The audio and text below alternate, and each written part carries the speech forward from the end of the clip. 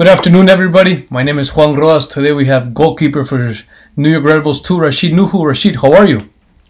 I'm good. How are you doing? Doing good. Well, uh, I really want to thank you, Rashid, obviously, for doing this for my channel, and uh, and thank you so much for taking your time out of your day. Yeah, I'm, I'm glad to be doing it. You know. Yeah, for sure. Appreciate it. To start off, Rashid, if you could talk to us about your, your upbringing in, in Accra in Ghana. How how was that? You know, obviously being in Africa, not being in, in the United States. How was that? Um, growing up, um, I was with my brother, and I was um was just my mom. My dad passed away when I was like four. Wow. So I didn't really have like a dad figure. So it was tough for my mom just like take care of both me and my brother. Mm-hmm. But I mean, she was able to do it, and we knew what she was going through too. So we had to step up as young age to do something that could also like make it easy on her, Mm-hmm. which is to play football. Yeah. I mean soccer. So that's what we both did. And we both went to the same soccer academy, the Right to Dream Academy, Mm. and from there I, I ended up coming to the US for school and all that, and now playing. Yeah. hmm For sure. What do you miss most about Ghana? Obviously, in, in Accra, what do you miss the most? Uh, I mean, obviously I miss like the food. Yeah. Um, definitely like my friends back home. Cause like I mean, I grew up playing on the streets with them, like very close, and Mhm. coming to like overseas and like not having them here is kind of like was tough, like at Yeah. the beginning, but like with time it got easier, and like with time too, I, I like I stayed connected with them, like Mhm. talking with them every day, which was good. So And, and I'm imagining now FaceTime and Messenger helps out a lot too, right? To to, to talk to to your relatives face to face. For sure. And then obviously, do you think your upbringing in Ghana has shaped you into the man you are today? For sure, yeah. I like it's funny because at young age I already learned how to live by myself. Mhm. Because um, I had to leave like leave my home and go to the Right to Dream Academy at the age of eleven. Wow. So I was like I mean it was tough for my mom, like she didn't want me going. hmm But then I love to play like soccer, so I was like it's something I want to do. So like then like we talked about it because she wanted me to go to school. So like she didn't know like the to Dream Academy was also like keen on education too. Yeah. So like sitting down with like the to Dream people and like talking about it, she like she came to agree with what like the academy was all about hmm and she let me leave, which I was happy about. Even though it was tough for me because I was 11, I didn't know how to live on my own, like how to just be by myself. Yeah. It was tough, but when I went through that, it made it like it made things easier for me in life now. Like coming to high school, going to a boarding school, Yeah. I was I was like uh, like I've been through this already at a young age, so like this shouldn't be a problem. hmm With like my friends in school who were like 20 minutes from home were like getting homesick all that, and I was like, "You're 15 now.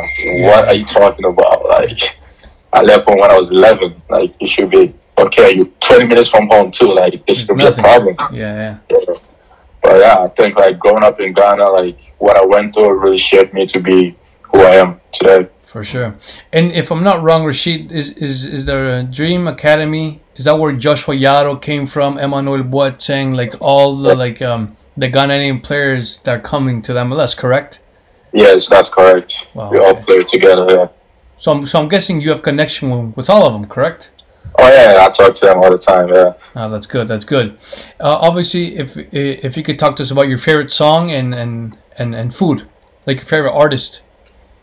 Honestly, right now my favorite artist is Young Thug. Oh, really? Wow. Okay. Like I listen to his songs every day. Like, crazy. For sure. And my favorite food is jollof. It's a Ghanaian dish. Okay. It's like rice with like sauce, like mixed together with like meat. Mm-hmm. It's really good. I think you should try it. You'll love it. For sure. I, I, I, I should try. I mean, I'm, I'm here in Bakersfield, so I don't think there's there's a place that makes it, but hopefully soon. Do you Uh, do you cook it? You make it? um, I've tried it this year.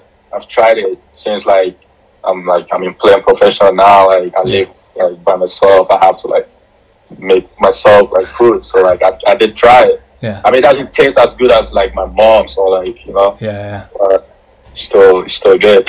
for sure. A playlist before a game to get you pumped up, to get you ready for the game, something?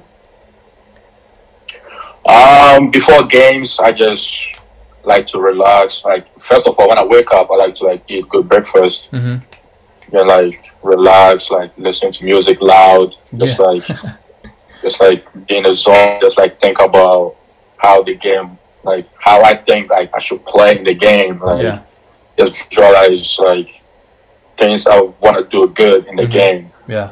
And when I go to the locker room, I just try to have like my headphones on, like try to stay away from any like distractions and just like be in the zone Mm-hmm. till game time. Yeah. For sure. Most embarrassing song on your phone, if you have one? I don't think I have one. Nah. Nah, I don't think so. For sure. Um, s- s- something that we do that that us the fans don't know about Rashid Nuhu. Something interesting that that we probably wouldn't know about you. Well, I don't know. Like, it's not probably not even about me, but like most people didn't know. My brother signed with Manchester City when he was like 19, Oh which is something like people never knew. Like, no one knows about, Uh huh. and And it's like it's just something like. I don't know, like people be like, "Oh, you have a brother?" I'm like, "Yeah." Like my older brother, like, does he play soccer? I'm like, "Yeah." He actually got signed by Man City, and we're like, "Oh, what?" Like, like, yeah, like, was there an opportunity for your brother with Manchester City? Because if um yeah, was there an opportunity? Well, like he got signed, and you know that's when like City was be- started becoming big, Uh and like he got loaned out to like teams from Norway, like this kind of Scandinavian teams and stuff like that. yeah. And he got to a point that he realized like it wouldn't be a good move for him because he, was- he would never play with them. Mm-hmm. So then he just didn't sign with them anymore and just went on his own. On his own. Yeah. For sure. If Rashid Nuhu wouldn't to be a professional soccer player, what would your profession be? That's a tough one. Honestly, growing up, um, before I even got interested in soccer, I wanted to be a teacher. Wow. Okay. Any specific I reason? really, I, I, um, because my grandma was a teacher and I really admired her. And like, whenever like she goes to school, she always drags me to school. That's when like I became like really studious because like my grandma was a teacher. Like she takes me to school, like helps me with my homework, everything like that. So like that's when I fell in love with being a teacher. But then Wow. started playing soccer, and I was like, that's what I want to do. Yeah, yeah, for sure. And if I'm not wrong, you're 23. You're you're about to turn 24 in December. But what are your short and long term goals for your career? Um, right now, like, I mean, this past season was my first year playing pro, Mm-hmm. and it didn't go as well as I wanted it to go. Mhm. I really like wanted to get like more playing time and develop like myself as a player, Yeah, which didn't really happen. Yes, I mean, even though I didn't play much games, I still feel like I've developed just like being in a pro environment, like training day in day out, you know? Yeah, but right now my next goal is to like play like more games and you know like as a soccer player or like any like um athlete like if you're not playing in like tough situations you you know you don't see yourself growing. Exactly.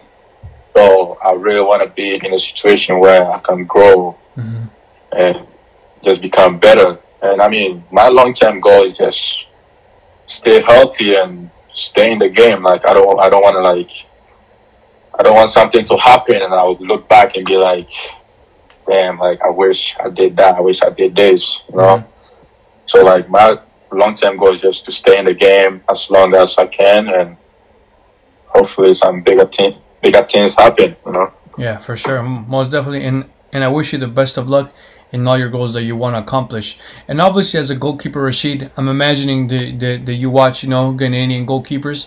But in your opinion, who do you think is the best goalkeeper in Ghana history? Obviously, re- regarding soccer. In Ghana history. I think I'll go with Richard Kingston. Richard Kingston. Uh, Yeah, I don't know if you know who he is. I've heard of him. Yeah. Yeah, he, he really stood up um, in the 2006 and 2010 World Cups, Mhm. and like he really stood up for Ghana. Like even though people are criticizing him, like Yeah. being like small size and all that, but like He he really job. like stepped up and Mhm. held held his own for Ghana, so it was good. Yeah, for sure. And then you obviously come to United States. If you could talk to us about, you know, the transition, obviously going from Africa to to to the U.S. You know, to, uh, I, I, maybe a different language. You know, a lot of different. It's a, a di- culture shock. You know, and it's just different. But if you could talk to us about that, how was that? Was it difficult? Um, honestly, I didn't really find it like that much like difficult because um, the Right to Dream Academy, we had like staff from like England and Wow. some from the US Okay. who were like, like whenever like we come in here to the US for like school and all that, like Mhm. they try to like keep us like knowledge of like about things around here, like how things go around, and like we see them all the time, like, so like we know like how they do things and like things we shouldn't say, things we shouldn't do. Like Yeah. we see all that at the academy, so like coming here wasn't that big of a change. So it prepared you well. Yeah, yeah, they definitely prepare as well. And like, I mean, the only biggest issue was just like being away from home. You know, that was the only big issue. Yeah, homesick. like, yeah, just getting homesick and like not having a real family here, like just to talk to. You know, Yeah. was different. Mhm. So yeah, that was the only biggest problem. But But now, you but now it's good because now you're a professional. yeah, For sure. And then you spent four years at Fordham, uh, Fordham University. But if you could talk to us about the difference between the collegiate level and now professionally, is there is there a huge difference or no? yeah, it's it's a big difference, honestly. Because like, I mean, when I was in college, I was like, I was, I mean, I was pretty good. I mean, for my like school and um, for my conference. Yeah, Then like moving from college to like my first day of like training with the New York Red Bulls like first team, hmm and that was I was still even at Fordham. It was like it was in the summer, and they like called me to train with them. yeah, and like I saw the level, and I was like, we are like joking in college. Like yeah, the level is so high in the pros, and that's like right now. I look back at college, and I'm like, I'm glad I actually like made it this far to Mhm. like experience something this like good, and not thinking like college is like the highest level. Like yeah, most people in college think it's like D1 is like the highest thing they can ever do. yeah. So they go to the next level and they're like, oh, we're joking. hmm Cause like, I mean, like, I, I, I feel like college like was too slow. Like, Yeah, like everything was just like that. You have so much time in college to do like whatever you want on the ball. Like, you have like you have so much time to think everything. Like Mhm. the pros, just like everything just goes too quick. yeah, yeah. Like even this like this the college season like season is short. Uh huh. and like you come to the pros and it's like the pros like a year like long Yeah. but it goes quick hmm and like you realize like damn like like if you really like didn't come up like ready for the season like prepared to like play and do good hmm like blink of your eye and the season is over you didn't gain anything hmm so like even though like people think college season is short like the, the pros like it goes quick too like because it's your job you go in every day like Yeah. it goes quick hmm So it's like it's different, like big difference from college. For sure. If if you were to go to the beginning of the season, what would you have told yourself to prepare for your first professional year with the Red Bulls? Is there anything in particular that you would have wanted to know or or something to prepare you for the professional level? Um, honestly, I would have just having like better training in college. hmm Just having better training in college would have definitely prepared me better for the pros. Yeah. Because like the way the college system is set up, you barely even train. Just Uh-huh. like game after game after game. So you don't really see yourself like training and like like correcting your mistakes, learning. Like you don't see yourself doing those things. Yeah. But you just game after game, and like you go through a lot. Like sometimes like you have like injuries and you be fighting through it because like the season's only like three months. And Yeah. It's just, just tough. Like so yeah. I mean, I wish I had better training before going pro. And Yeah. yeah. For sure. What did you do with your first check from Red Bulls? Do you remember when you first got it? Was there anything in particular that, that you know that, that you bought with it? Um. oh yeah. I mean, I bought, I bought a TV. Okay. Was it huge? the first thing I did. Ah, it's a 55 inch Huh? TV. Pretty big. Yeah, it's pretty big. So yeah. Most definitely. Favorite teammate so far with Red Bulls? Maybe Evan Louro, the goalkeeper. Maybe. What's your favorite what? Fa- favorite teammate so far? Maybe in collegiate level or or now or now with Red Bulls. Any anything like camaraderie, going traveling and being in hotels. Um, I mean, like one of uh, my teammates from Fordham, Janos Loebe, he also got drafted to Red Bulls. Okay. And like whenever we travel, like we we're like roommates and everything. Like even like at the house here, I'm in New Jersey, we're roommates too. So it's like we've been from Fordham to here, and like you know, it's just the same thing. Like Yeah. Started from the bottom and now you're a professional, huh? yeah, For sure. And and then obviously as a goalkeeper you encounter various and different le- lethal forwards. Is there any forward in particular that that you know that that took you a long time? No, not a long time, but it, it took you to possibly to save them or or didn't know how to come out and approach someone to get out of your box. Any any hard forward? um, I would say um, Bradley Wright Phillips. Oof. Yeah. He he's a fucking. I'm sorry for my language, No, but you're like he just, he's just amazing. Like He's an animal. he like he would just score a goal on you and you just look back and like alright, like whatever his Brad like you know Yeah. it's like yeah it's whatever his Brad like Yeah. He, he's always hitting the target like he doesn't really focus on power he's just going for the corners and he's Finesse. just like you just know like he's someone who's like really talented someone who's been in the league for a long time Yeah. experience like Mhm. he knows what he's doing Yeah. so, yeah it was I mean it was tough like Yeah. like always like training with him and like it's like I mean he definitely got me better but hmm I hate playing against him. That's it. for sure.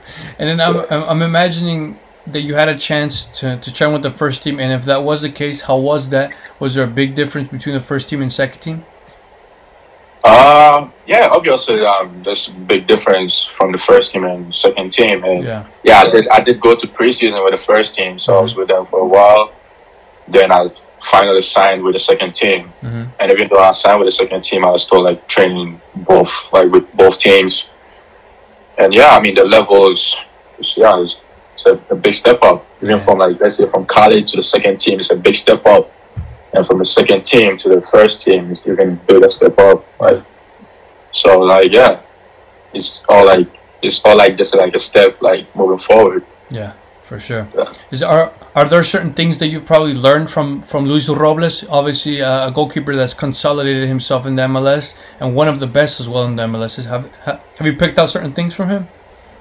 Yeah, like he like I don't even know where to start because like he knew the situation I was in Wow. and the first like week or so of training he came up to me and was like he's been there hmm when he started playing pro he was in Germany playing for like third division team. Hmm and he never got games for like Wow. like two years or something.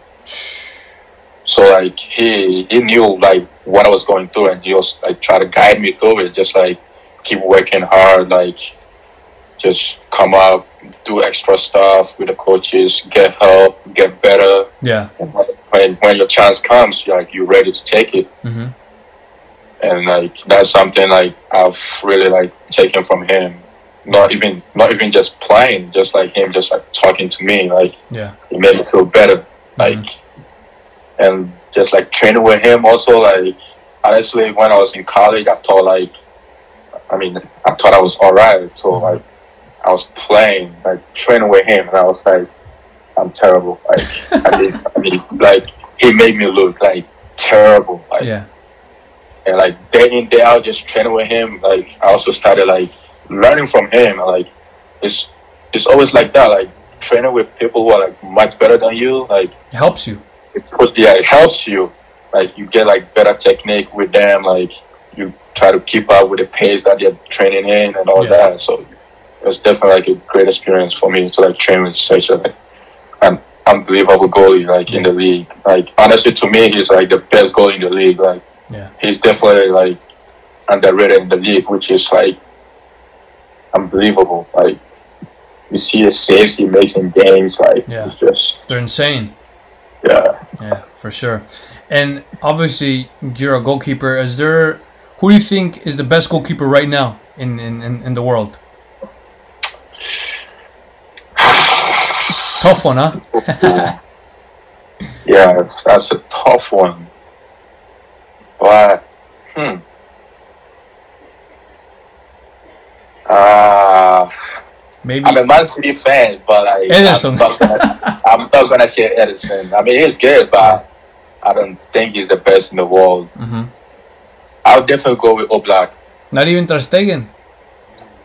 Ter Stegen is good too, but you know, Oblak, I, I don't know, man. Like, It's tough. it's also like you know, like I like I like those goalies who are like underrated and like you know they're good. Like Yeah. people, like if Ter Stegen wasn't playing for Barcelona, he would definitely be underrated too. Yeah, most definitely. All this, yeah, like that's. I mean, that's how I feel about it. Yeah. So, to me, I say Oblak. For sure. What does Rashid Nuhu do in his free time? Obviously, right now in the off season, you have a lot more time to yourself, more free time. Obviously, when, when you were training, you were training game day. You only focus on game day. But what do you do in your free time? What do you like to do? Any hobbies? Uh, I just my I love to watch TV. Honestly, I, I, I'm not gonna lie. I love to watch TV. Yeah. Like I can watch TV all day and not step a foot outside. Netflix. So, I- yeah, Netflix FIFA? all day. So. Um, I just stopped playing FIFA like Wow. since like senior year in college. Wow. was taking too much of my time. I was Yeah. like, so I, I gave up my Xbox. I was like, nah, I can't do it anymore. Mhm. So For sure. So right now in the off season, what is your daily routine? Like like what does Rashid Nuhu do right now? I mean, as of right now, we're still training, but Okay. when um, we're done with like training and all that, I'll just keep out being in shape. Just like try to like work out maybe three or four times a week because um, obviously my body needs to rest too. But I can't take every day off, so Mhm. I have to do something to just stay in shape and prepare for the next season, wherever I, I like I end up being. Yeah, for sure. And when do you get your vacation? Because obviously the it's it's off season, and, and are you gonna go back to maybe Ghana and visit your family? Yeah, uh, I'm gonna go back to Ghana. It's been a long time I've spent Christmas in Ghana, so yeah, I'm looking forward to it. For sure. And then if you were to have a, a dinner with a legendary goalkeeper, uh, who would it be with and why? Ah, a legend goalkeeper. I'll say Van der Sar. Any any specific reason? Maybe you you admired him growing up. Yeah, I really admired him growing up. I just, like, honestly, like sometimes I just like watch like YouTube videos of him playing. Just, he's just an amazing goalkeeper, and I just love like what he's even doing now, going from Manchester to Ajax and like all that. Like, Yeah, it's amazing. Like, I just admire like who he is. Mm-hmm. for sure. And obviously you you mentioned to us earlier that you you have a brother named Razak Nuhu. Um, Yes. But if you could talk to us about your brotherhood with him, and and if in tough situations like you were in, do you speak to him about uh, about that so he can motivate you and, and stuff like that? Yeah, um, like when I got drafted, like I talked to him. Like, I mean, he doesn't know anything about like the MLS, like the U.S. soccer. He's more familiar with it. Yeah, But I talked to him about getting drafted, and you know, when you get drafted, you're not guaranteed like the contract. with a contract or anything. So yeah, I talked to him, and he's like, "Hey, I mean, at least they're giving you a chance. Just go there, like do your best, Yeah. see what happens." Mm-hmm. And like he made me believe like even if that doesn't like work out, like it's definitely something somewhere else for me. Like, Not which just I really appreciated. And like, and like it kind of like freed my mind from like being like tense, being like, okay, like if this team doesn't sign me, then like I have nowhere else to go. yeah, But he made me believe like there's definitely something somewhere. Like I shouldn't like put all like my aim in like this team and like think when they don't drop like sign me, it's over. yeah, So yeah, he really helped me. And like he's someone I've looked up to growing up. Yeah. Like he always like take me to like the soccer fields whenever when like when I was young, like he like whenever he's going to train he'd be like, oh, Rashid, come with me. yeah, We just I would just follow him around. Like we go like he trains, I train, like he just like he's someone who like really helped me and like I really like appreciate that from him and Mhm. he's just a good big brother, you know. for sure. And then when when when your brother was in Manchester City, did did you ever ask him for an autograph or for a picture from a player when when when he was at Manchester City? Uh, I mean, when he went to Manchester City, I was also here Okay. for Oh, high school, so Yeah. it was like tough, like to get stuff from him. yeah. But like when I was when we were young at the Right to Dream Academy, he also like went over to train with Everton, Wow. and he, um, you know, Steven Pienaar, who Yeah, was South Africa. for Everton, yeah. Mhm. So Steven Pienaar gave him his soccer cleats, Wow. And when he came back to Ghana, he gave that cleats to me. You still have them? Nah, You I used away? it. Okay. I, I mean, I had to use it. Yeah. so, so I used it, and I, it's something like I was like, remember, like, like wait, when I was young, I used to wear Steven Pienaar's like worn cleats. Like, Yeah. it's like that amazing. Like, Yeah. Like Were they metal? I would have. What is it? Were, were were they metal cleats or no? Yeah. Yeah. And I was like, like if like, it was like those metal cleats, like you could, like, it's like it's metal. It's not. It's soft ground, but like you have to tighten them in. Yeah, yeah. You screw them in. Yeah, Yeah, Yeah, like it's, it's those like what's it like F fifty, F ten, those cleats. yeah. Like, yeah. yeah, Wow. yeah. That was like a great experience. Like still till today, I still think about that. I'm like, that was awesome. Like, For sure. Yeah. How many languages do you speak? um, well, like in Ghana, we have like a lot of like different dialects, Yeah. and I do speak about four of them. Wow. Yeah. Uh, So I'm, I'm imagining when you were in Ghana, did you already know English or did you have to learn it in Ghana? um, like schools in Ghana teach in English. Okay. Was so, So so, it wasn't difficult. Yeah, it was difficult. Like if you didn't go to school, it's like tough to like pick up English. Okay, for sure. Yeah, so like if you go to school, like so, like sometimes some schools, like the high top schools, if this like hear you speaking your local language, they actually punish you for it. Wow. Yeah, because they want you to like get good at speaking English, hmm but they always try to make every student speak English when they're in school. For sure. So yeah, if you don't go to school, it's like tough to like pick up English in Ghana. Yeah. Yeah. Could you give us a phrase in one of the dialects that you speak? Um, Medase. You know what that means? No, no clue, no clue. I was just saying thank you. Okay. And then and then and then how do you pronounce it? Medase. Metasi. Yeah. Okay, that's cool. That's cool. And then obviously, um, you play in the in the USL right now. But what league would you like to play in? Any league that attracts you? I mean, I would love to play anywhere, like anywhere, like my abilities take me. But honestly, I love the German league. I'm not. I love the German league. I just love the atmosphere out there, like with the fans and all that. Mm-hmm. I just love it. Like I just love like the German league. Just yeah. For sure. And then obviously Ghana plays against South Africa next week and also against Sao Tome Principe.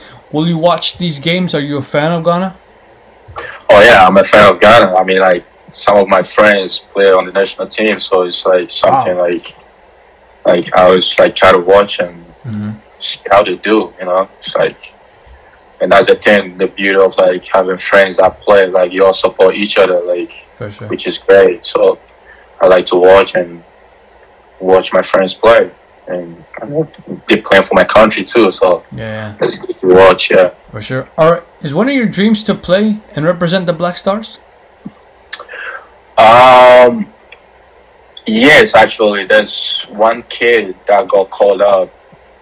Uh, his name is Mohamed Kudus. He plays in the Danish league. Mm-hmm. Yeah, he's he just got called up. I think he's actually he's twenty. No, he's probably like nineteen. Wow. Yeah, and yeah, he's young, and Mhm.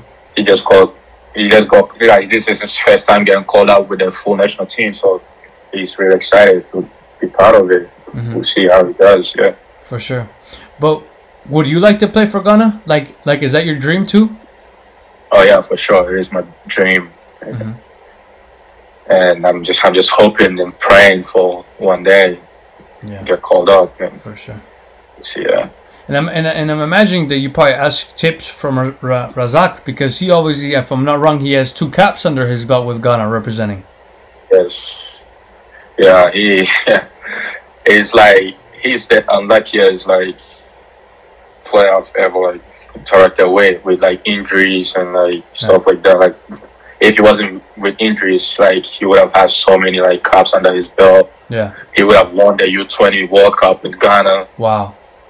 If it was, yeah, like it's just crazy like how things didn't like go the way he wanted it just because of injuries and Yeah. I mean it's part of the world we're in with football, so Sadly, yeah. for sure. What sacrifice sacrifices have you had to do to get to where you are now? Possibly, you know, the big transition from Africa to here. Maybe one of them. Yes, that is. Um, I think my biggest sacrifice is just leaving my mom home, like a single mom. You know, like Yeah. my brother. My brother already left, like, and I, I, I had to leave too, and just leaving her by herself home was one of the biggest like challenges I've ever like been through in life. Like, Yeah. it was just tough. And when I got here, I didn't even have a cell phone to call back home too, which was, yeah, it was tough. Like, yeah, that was the biggest challenge I've ever faced. Like, honestly, Mhm. It's- yeah. For sure.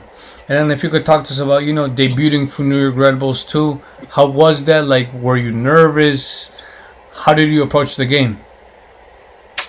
Uh, yeah, I mean, my debut was a tough game. We played Pittsburgh, Yeah. and honestly, yes, I was nervous because I mean it's my first professional game. Yeah, yeah, If if I said I wasn't nervous, I'll be lying. Like yeah. I was nervous, and I mean going through a warm up and everything. Like I started feeling myself, you know, like Mhm. touching the first like ball in the game. Like I was like, all right, like this is it. Like Mhm. it's my time. Like whatever, just play like as good as I can. Mhm.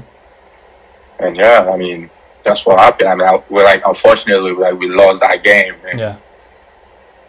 and it wasn't like the team we played was like terrible. We actually played the team that won us like our conference. Mhm. So it's like it's not like a team like like oh like this should be like an easy debut for me to like go like ease it up and like Yeah. gain my confidence. Like I was thrown in like the fire. Like honestly, like Yeah. so I think I held my own like to the expectations that I should, but Mhm. unfortunately we like we lost and I mean it's part of the game. I mean Yeah. Yeah. For sure. And then through the various games that you've played, could you name us the best save that you have had?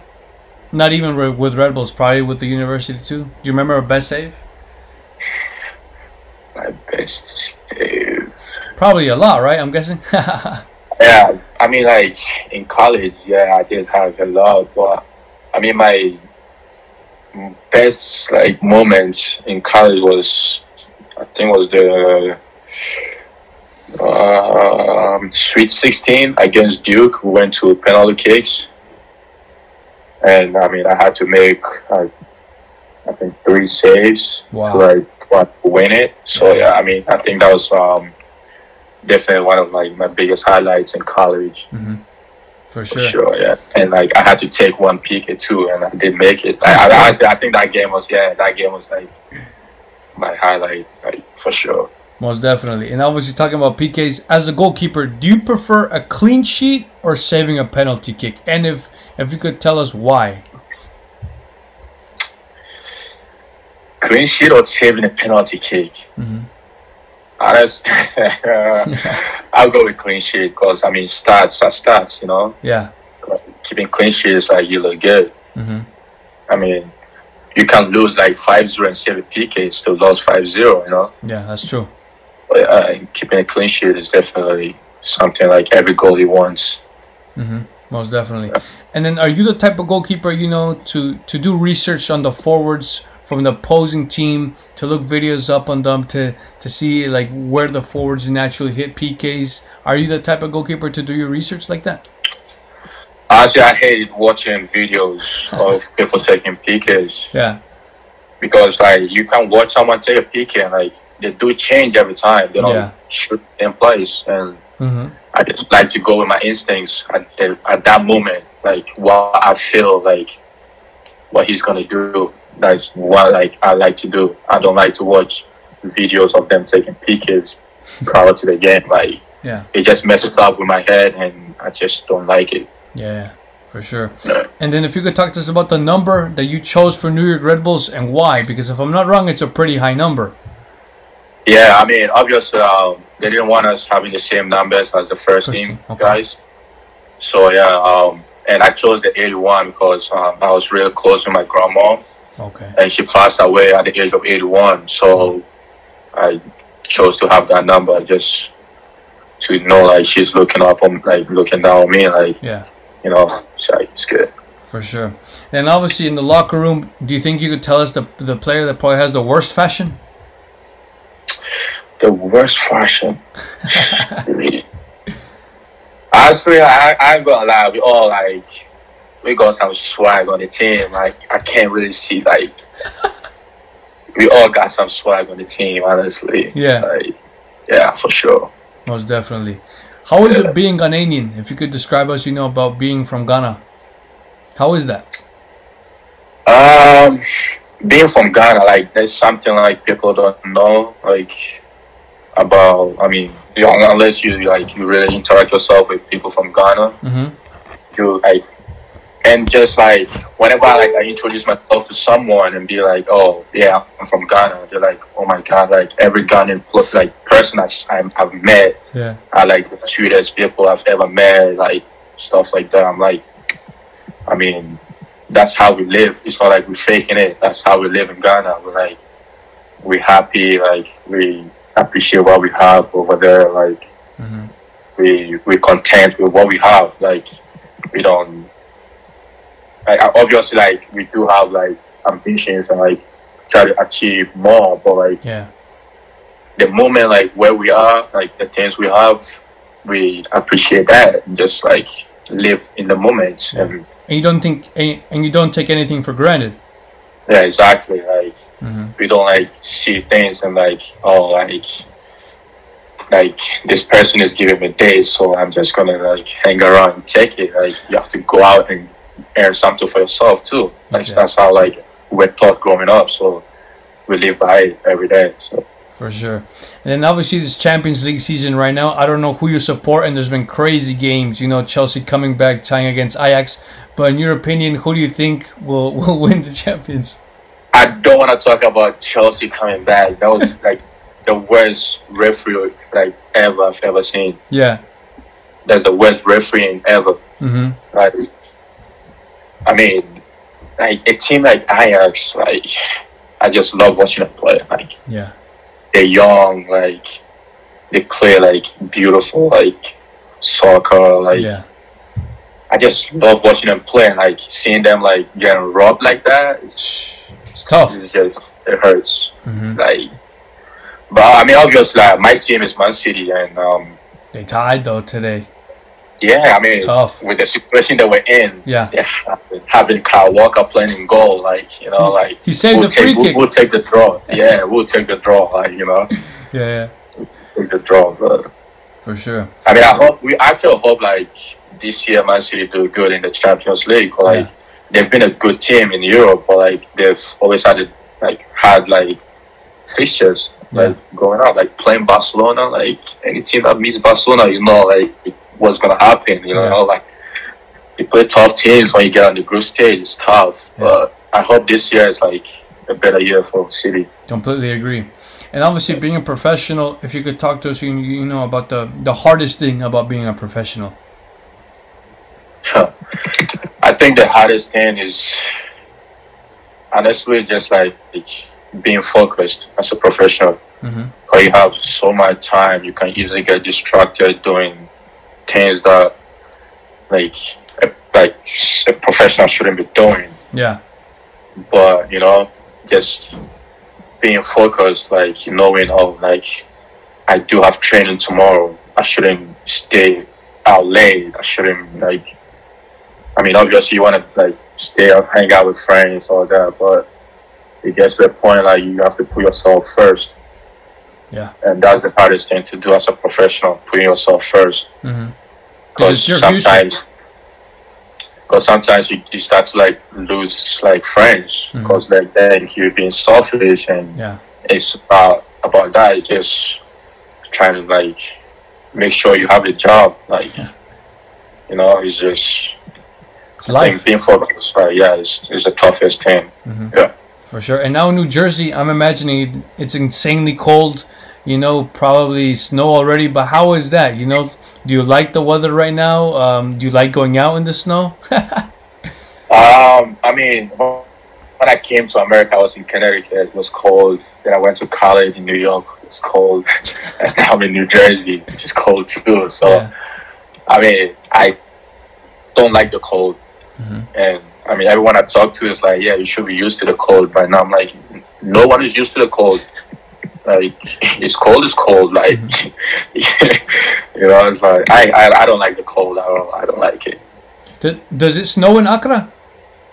Huh. When it snows, I think Accra will be shut down. I, I don't think when it goes below 50 degrees, everyone is like in their rooms, bro. Like no one is going out. Yeah, yeah. for sure, for sure. And then obviously Ghana um, didn't make, if I'm not wrong, they didn't make the World Cup last time. But what do you think uh, Ghana needs to do better to possibly maybe win the AFCON and win and, and, and achieve the World Cup like they have uh, before? Because obviously, you know, they had Kevin Prince, uh, Asamoah, Atsu, and many different Mhm. players, Mensah, Afful. But what do you think they, they have to do to, to get to the next stage?